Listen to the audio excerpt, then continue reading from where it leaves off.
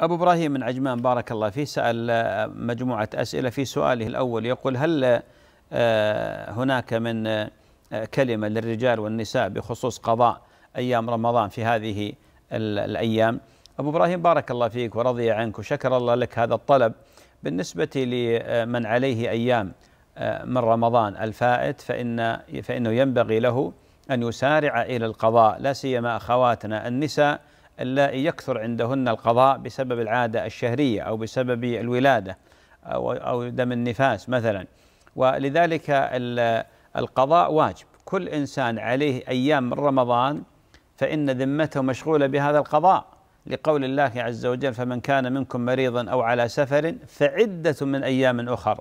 وهذا الواجب على نوعين واجب موسع وواجب مضيق. فمن شعبان فمن شوال الماضي بعد رمضان من شوال الماضي إلى شعبان هذا واجب موسع. فإذا دخل شعبان تضيق الواجب.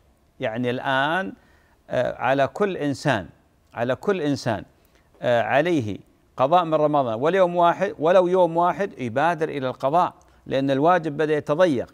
وكثير من الناس للأسف الشديد بسبب التسويف آه، إن شاء الله وسوف وبعدين وكذا يدخل عليه رمضان وهو ما ما قضى الذي عليه. والآن الحمد لله غالب دول العالم الأيام أيام شتاء وأيام براد النهار قصير وهذا فضل من الله عز وجل النهار قصير والجو بارد. فسارعوا بارك الله فيكم إلى قضاء ما عليكم من أيام رمضان والحذر الحذر من التسويف والحذر الحذر من التأجيل والحذر الحذر من قول والله غدا أو بعد غد أو الأسبوع الجاي. يقولون العوام بالنسبة لشعبان يسمونه شهر قصير قصير. يعني يدخل شعبان تتفاجأ إذا أنت على أبواب رمضان. فانتبهوا بارك الله في الجميع.